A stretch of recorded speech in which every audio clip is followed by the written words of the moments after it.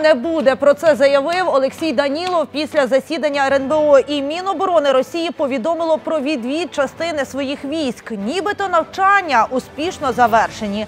Натомість Держдума Російської Федерації легалізувала незаконні ЛНР ДНР. Чи справді йдеться про деескалацію? Вітаю, це новини на 33-му каналі. В наступні півгодини розкажемо про таке.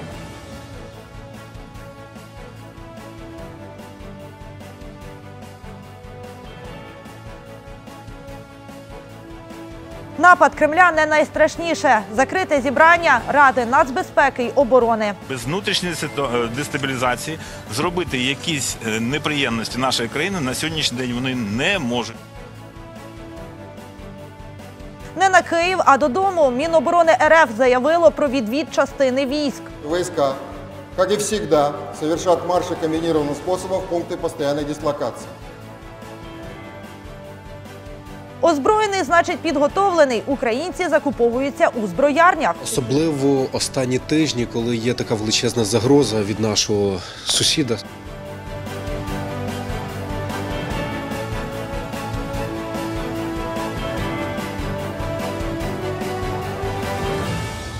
Росія своїх не кидає. Держдума майже узаконила самопроголошені ЛНР і ДНР. 351 депутат віддав свій голос за проєкт постанови про визнання цих утворень. Тепер документ відправлять Путіну. Зрозуміла річ, просто прийняти це рішення у Москві не могли. Влаштували справжню театральну виставу. Нібито проти такого рішення виступило Міністерство зовнішніх справ на чолі із Лавровим. Тож інсценували дискусію, переконували у необхідності голосування за і, врешті-решт, більшість зробила свій вибір без альтернативи. Нам необхідно сьогодні це рішення прийняти. Тим більше я так розумію, що в залі всі солідарні в тому, що такое постановлення прийняти необходимо. Мы, безусловно, должны отработать вот эти документы. Я хочу обратиться с этой трибуны к гражданам ДНР и ЛНР. Россия своих не бросает. А сегодня вы хотите оставить опять на дальнейшее глумление и не дать президенту дополнительных козырей. Ну что же вы все на президента? Мы предлагаем принять это постановление. Оно корректное, обращение аргументированное, а не затягивать вопрос, ну как это предполагает ваше постановление. Покажите, пожалуйста, результат по пункту 2.1, по вопросу, который мы проголосовали первым. Откройте, пожалуйста. За 351. Спасибо. Против 16. Выдержался 1. Повномасштабного вторгнення Росії найближчими днями не буде. Про це повідомив Олексій Данілов після закритої наради РНБО. Натомість наголосив, нині головна загроза внутрішня дестабілізація в Україні. Аби цього не допустити, глава МВС Денис Монастирський запевнив, його відомство докладе всіх зусиль для недопущення сепаратистських проявів у державі. Диверсантів розстрілюватимуть на місці.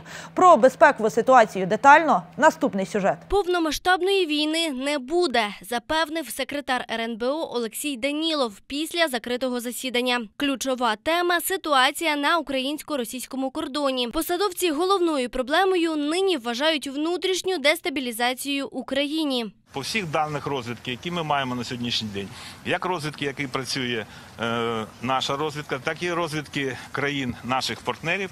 Ситуація внутрішньої для дестабілізації на території нашої країни це для них ситуація номер один. Без внутрішньої е, дестабілізації зробити якісь е, неприємності нашої країни на сьогоднішній день вони не можуть. Та в разі чого готові протистояти будь-яким загрозам. Глава МВС Денис Монастирський запевнив, зроблять усе, аби не допустити сепаратистських проявів. Наразі на захисті внутрішньої безпеки України щодня несуть службу 300 тисяч силовиків. Вони не дозволять повторити події 2014 року в Харкові, Луганську та Донецьку. Якщо якийсь Гіркін спробує захопити адмінбудівлі, він буде розстріляний нашим спецназом без попередження та жодних вагань. Закликав не панікувати і глава держави Володимир Зеленський вкотре звернувся до українського народу. Наголосив, наразі ми могутні як ніколи. Зокрема, дипломатичну підтримку надають практично всі світові лідери. Армія ж в рази сильніша ніж вісім років тому. Ми постійно слідкуємо за ситуацією, прораховуємо різні сценарії, готуємо достойні відповіді на всі можливі агресивні дії. Ми чітко знаємо, де поруч з нашими кордонами чужа армія, її чисельність, її локації, оснащення та її плани. Нам є що протиставити. Та, схоже, не всі у цьому впевнені. Напередодні 23 народні депутати виїхали за межі України. Більшість представники проросійської партії ОПЗЖ. Глава держави дав їм 24 години на повернення. Ваша сила не у ваших грошах, не у літаках, а у громадянській позиції, яку ви можете проявити. Поверніться до своїх людей та до своєї країни, завдяки яким ви отримали свої заводи та статки. Сьогодні кожен проходить справжній тест на громадянина України. Пройдіть його гідно. Ірина Тарадай, новини 33 канал. Якщо не скасовується, то відтерміновується. Йдеться про можливий наступ російських військ на Україну. У Міноборони Федерації детально розповіли про хід їхніх навчань. Мовляв, усі ці тисячі вояків біля наших кордонів лише відточують свою майстерність із відбиття атак.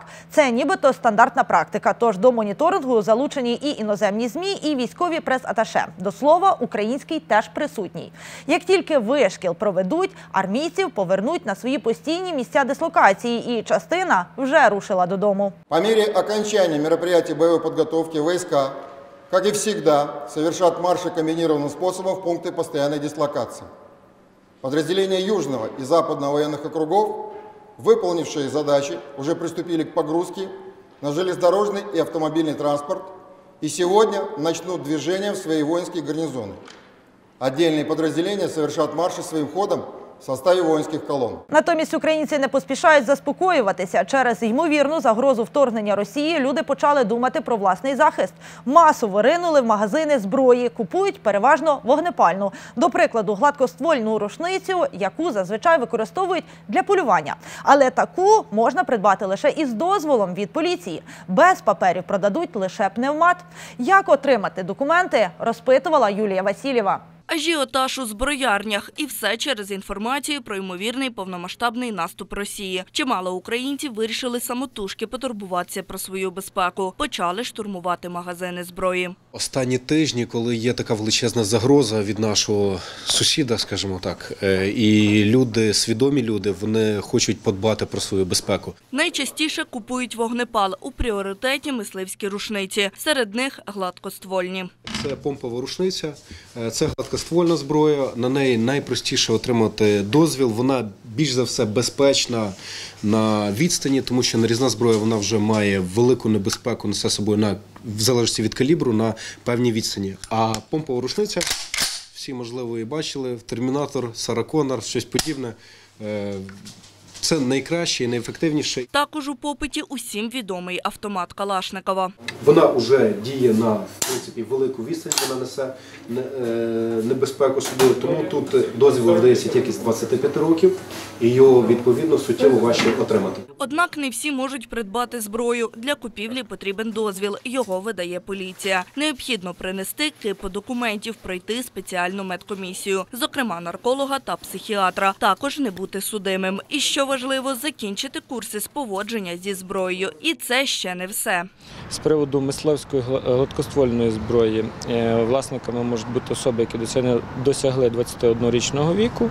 Е, З приводу мисливської нарізної зброї особи, які досягли е, 25-річного віку. Е, Пневматичної, холодної, охолощеної зброї особи, які досягли 18-річного віку. А от для револьверів Флобера та пневмата папери не потрібні. До слова, минулого року парламентарі намагалися легалізувати вільний обіг зброї. Однак законопроєкт завис у повітрі. Натомість депутати Хмельницької облради певні, документ потрібно прийняти. Віктор Бурлик каже, суперечності виникають саме через побоювання збільшення злочинів у разі масового озброєння населення. Однак, коли Україна в стані війни, люди мають право на самозахист.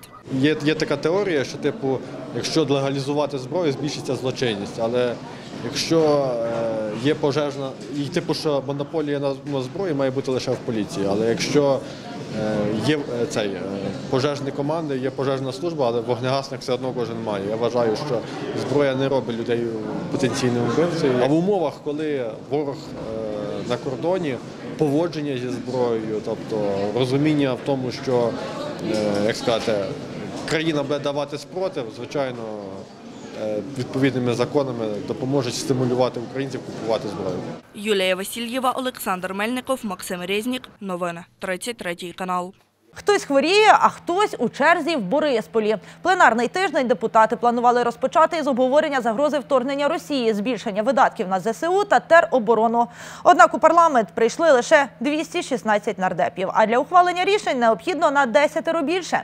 Зокрема, напередодні стало відомо, що 23 обранці вже за межами України просто накивали п'ятами в нелегкий для країни час. Як вирішуватимуть нагальні безпекові питання за таких умов далі? Проспали початок. Пленарний тиждень у Верховній Раді розпочався з низької явки народних обранців. На початку засідання в залі зареєструвалися лише 216 нардепів, а це на 10 менше ніж потрібно для ухвалення рішень. В залі зареєстровано 216 народних депутатів. Пленарне засідання Верховної Ради України оголошую відкритим. Пізніше парламентарі таки дійшли до своїх робочих місць, однак не всі. Раніше стало відомо. Більше 20 нардепів виїхали за кордон. Чи то там справи нагальніші, чи злякалися можливого нападу. Депутат Вадим Новинський був у списку втікачів, але напередодні він повернувся в Україну. Свою поїздку не пов'язує із ситуацією на кордоні, бо переконаний, імовірність нападу Росії мінімальна. То карты публикуют, то какие-то передвижения войск, то сейчас мороз должен быть, то сейчас Олимпиада начнется, то после Олимпиады, то что-то еще. Во-первых, сейчас Олимпиада идут. До 20 февраля идет Олимпиада, и точно ничего не будет. Цього разу депутатам таки вдалося затвердити порядок денний сьомої сесії. Далі одразу перейшли до безпекових питань. Відновили індексацію пенсій військовим і держслужбовцям. Вона щорічно проходитиме 1 березня. А ще дозволили теробороні виконувати завдання в районах ведення бойових дій. Без цих змін ми перетворюємо тери- територіальну оборону лише на охорону. І найголовніше, змінами ми знімемо обмеження по застосуванню тероборони на випадок необхідності в бою. Фактично, це знімає заборону їм воювати. Удосконалили систему ідентифікації нацгвардійців, які забезпечують охорону громадського порядку. Тепер кожному солдату присвоїть індивідуальний номер. За ним зможуть відстежити будь-які вчинені службові порушення. А Законопроект впроваджує присвоєння таким військовослужбовцям ідентифікаційних номерів і зобов'язує їх закріпити безпосередньо в області грудей жетон з індивідуальним номером під час виконання завдань з охорони громадського порядку та забезпечення охорони громадської безпеки. Відреагували нардепи й на те, що російська держдума визнала так звані ЛНР та ДНР. Переконані, так Москва автоматично вийшла з усіх спільних договорів. І як тільки Путін підпише відповідну постанову, це дасть змогу легально вести туди окупантські війська. Вони зроблять те, що зробили в Абхазії, те, що зробили в Придністров'ї. Вони введуть свої офіційні війська абсолютно легально і вийдуть на лінію зіткнення. Вони вже звинувачують українську владу в тому, що ми проводимо геноцид власного народу. Нам потрібно уже переглянути всі наші позиції по відведенню тяжкого озброєння і вже готуватися до відстояння наших кордонів. Це наша земля, це наші люди. Хай своє рішення державної дури собі можуть за- засунути подалі. Катерина Шевчук, Станіслав Романюк. Новини 33 канал. Не минуло і двох днів українська приватна авіакомпанія SkyUp відновила продаж квитків. В прес-службі повітряного перевізника повідомили, цьому передували плідні перемовини із страховиками, а також співпраця із Міністерством інфраструктури та Кабміном. Останній виділив 16,5 мільярдів гривень на безпечні польоти українським небом. Нагадаю, раніше підприємство повідомляло про призупинення своїх рейсів до 16 лютого включно.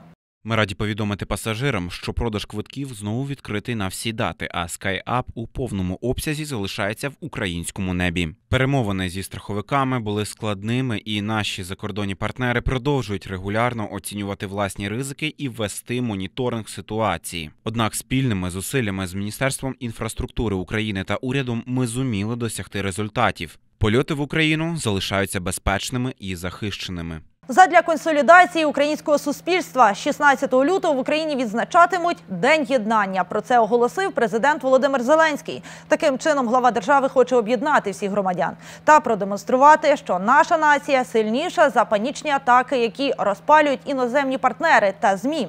Тож принагідно в цей день завжди здійматиметься державний прапор, лунатиме гімн, аби всьому світу показати українську одностайність. Відповідний указ гарант уже підписав. Цього дня ми вивісимо національні прапори, вдягнемо синьо-жовті стрічки та покажемо всьому світу нашу єдність.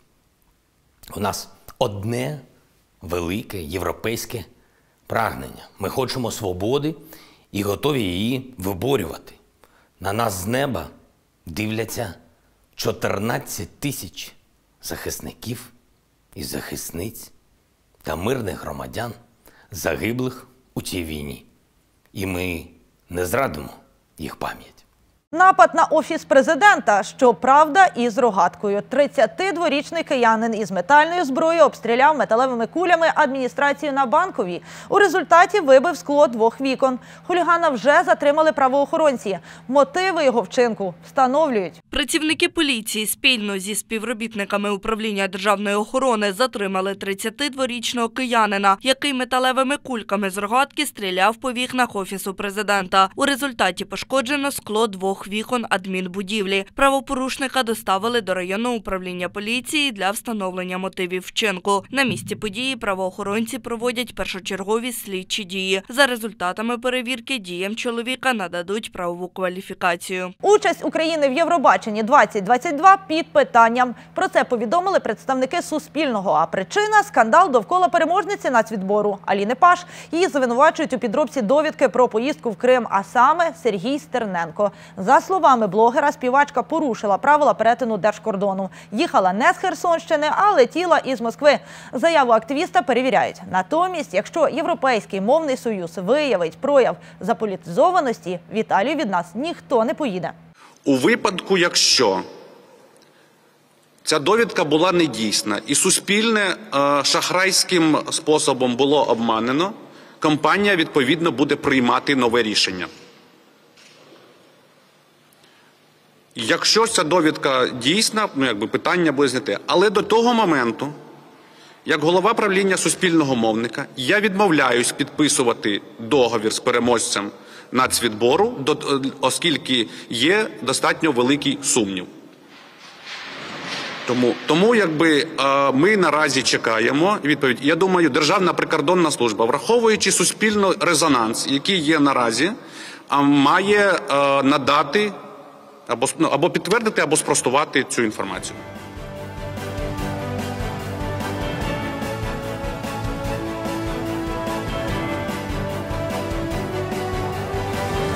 Такими були головні події в Україні та світі. А далі у випуску детально розповімо про новини на Хмельниччині.